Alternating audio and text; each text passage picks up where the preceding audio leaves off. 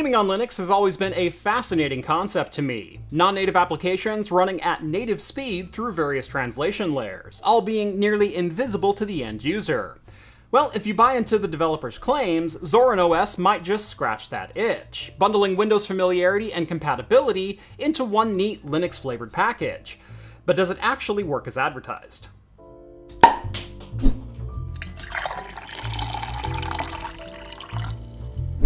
Today's video is brought to you by craftcomputing.store, the letters I, P, and A, and viewers like you. Or, at least it could be.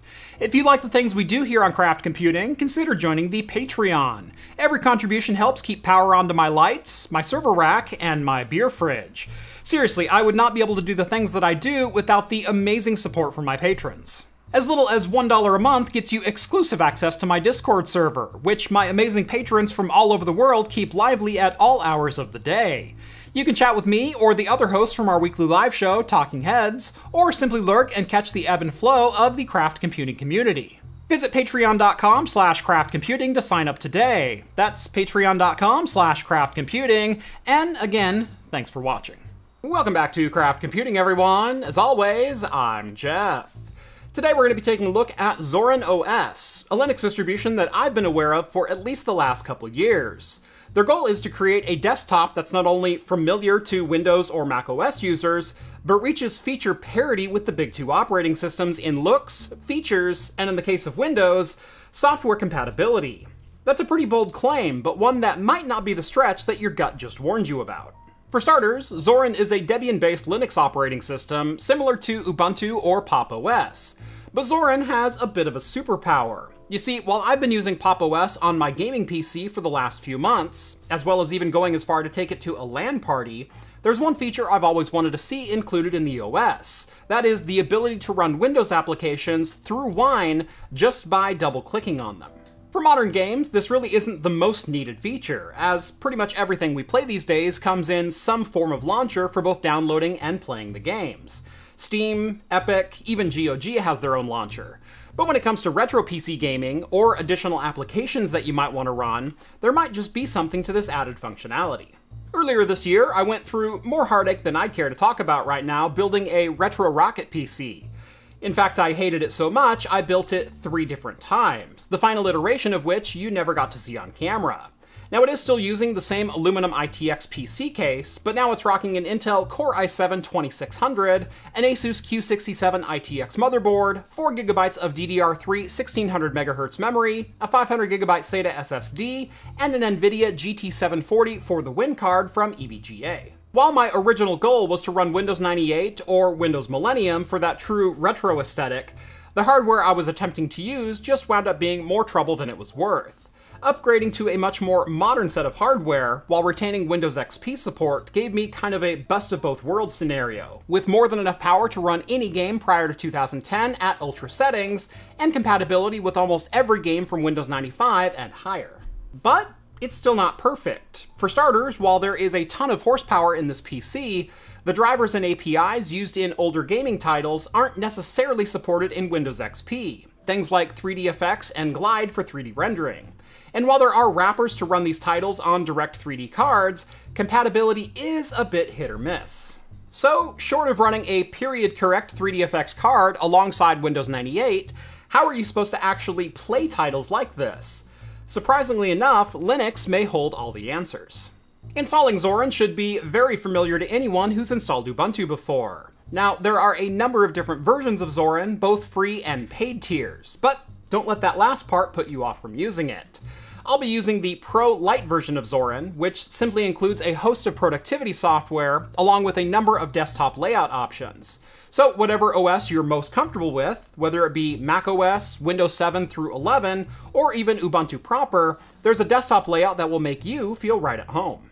The light version of Zorin simply means that as few background services as possible are running on the OS, making it a great choice for lower powered or older PC installations.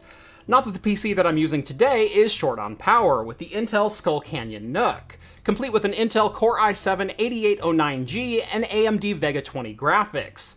It's definitely overkill for a retro gaming PC, but it's also not outside the budget that I spent building three different versions of my Retro Rocket. Booting into the OS for the first time drops you onto the desktop and offers a tour of all the various features available in Zorin, and it's really not a bad place to start out if this is your first time with the OS. But for now, I'm only interested in the Windows compatibility features I mentioned at the beginning of the video.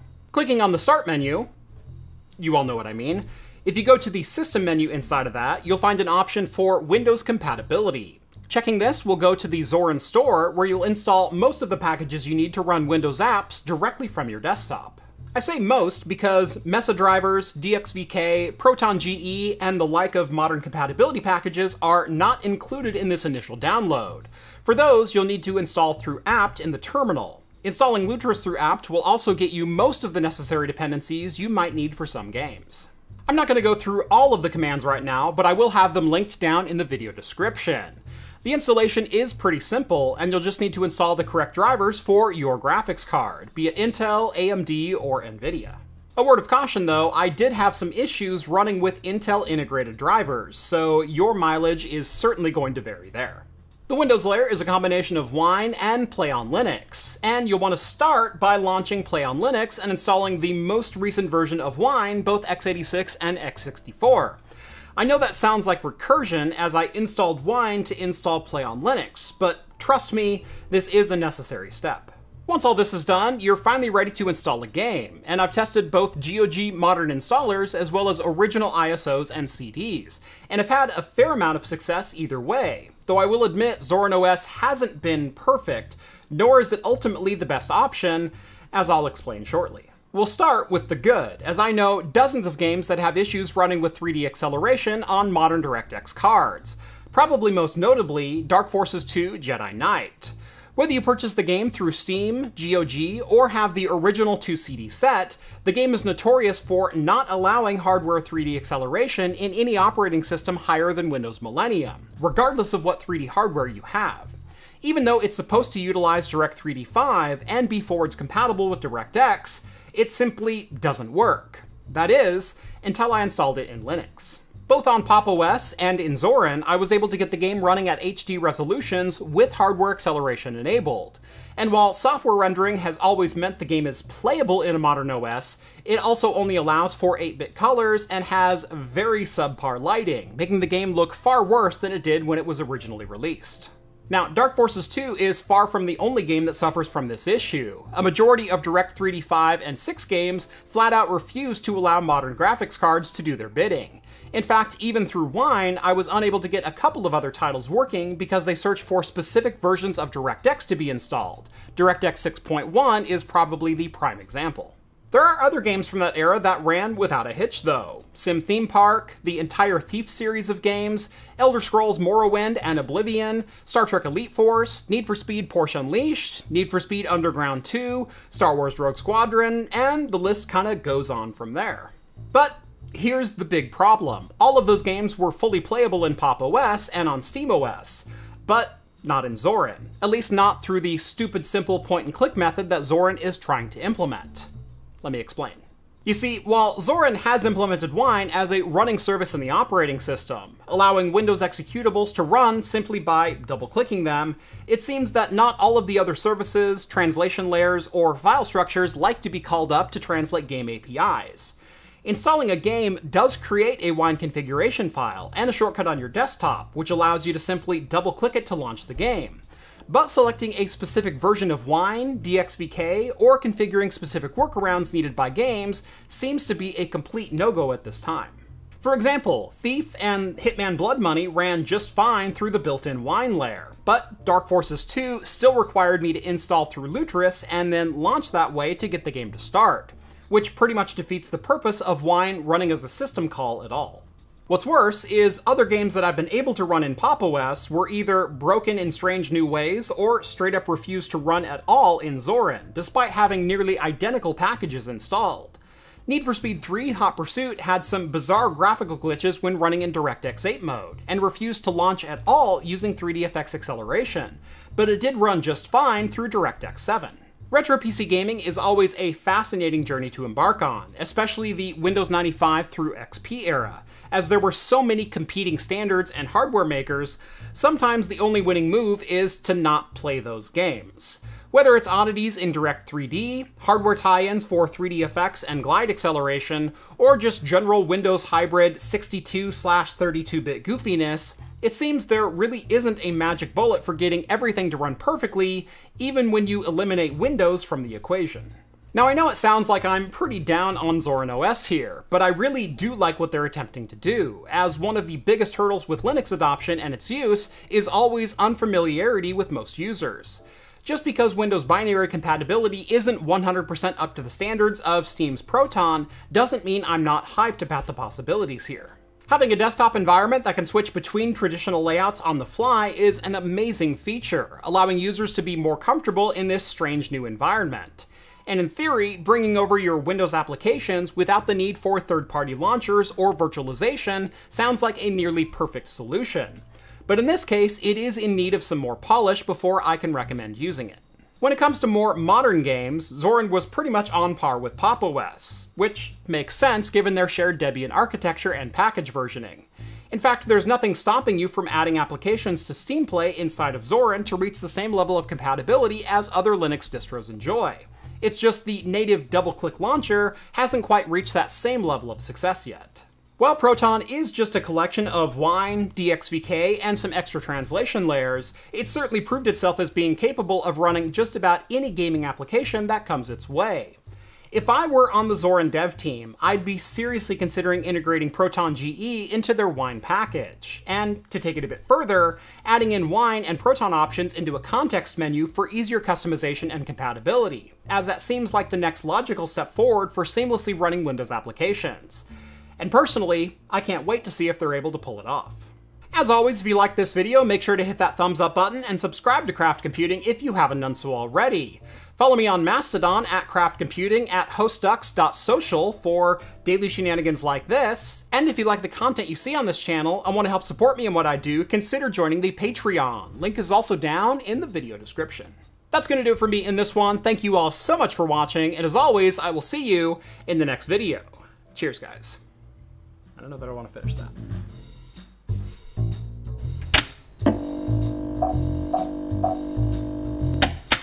Beer for today comes all the way from Shakopee, Minnesota. It is the Badger Hill Brewing Hazy IPA, and thanks to Novella Hub for sending this one over. New England style hazy clocking in at 6.1%. But as Rhett says, it's too bad that I hate hazies. That's got more body than Coors Light. See, I, I don't need the full pint this morning. Yeah, look, I'm sharing.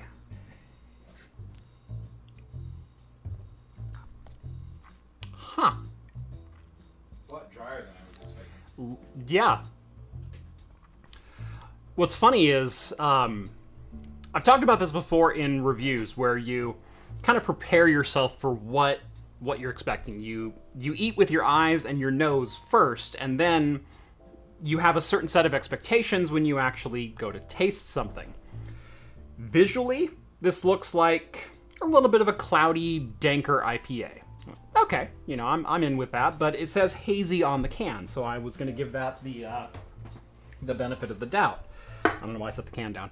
Uh, and you go to smell it, and I'm getting like some honeydew melon as far as citrus goes. Uh, like if that's the predominant aroma that I'm getting.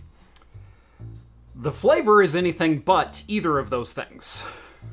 I think the best way to explain this one is there's a little bit of that super dry citrus right up front that and it's not orange it's not pineapple. We're talking more like the the honeydew melon the something to that effect. Um, there's just that slight little right up front and it instantly fades away to this very wide very broad not complex single flavor hop um, and so if you're used to drinking hazy IPAs that are these this constantly changing, uh, you know, circus wheel of of uh, sorry Ferris wheel of of hop flavors, um, this is definitely not it. It's not an off-putting flavor at all. It's just not quite what I thought I was signing up for when I opened the can, and then it's gone like champagne. Just Yeah. interesting one to say the least. Yeah. It's getting maltier. It's turning into a bad Irish red. Now it's just bad. Like there was a there was a warming period where I got kind of uh that Irish red, you know, real good malty back to it. The end of this beer is just awful. So, this beer has been slowly, slowly changing flavor over the entire course of this video. We're about, what, 35 minutes in, something like that. Um, the beer is only warmed up by maybe 10 degrees. Like I pulled it out at 36, it's probably 46 right now. It's it's still cold, just not ice cold. Um, it started out as a moderately decent, although not complex at all, IPA. I wouldn't even call it a hazy IPA. It has none of the markers of a hazy. But the backing of it was very like it was dry and left you kind of malty. It, it was a it was a malty finish instead of a hoppy finish. About midway through the beer, it started almost tasting like an Irish red. Like the malt had warmed up and kind of just kind of broadened the back end of the drink a little bit. But the front of it was still very just like one dimensional. And now that honeydew melon has been replaced with like celery, kale, and black licorice. Like that's how how far south it's gone. And the malt that was on the back, which in my opinion was kind of the redeeming factor of this beer, it's just spinach at this point. Like like it went from like this warm bready sourdough kind of finish to I just had a bad salad with no oil or ranch or dressing of any kind. I'm stuffing kale into my mouth and I'm hating every minute of it.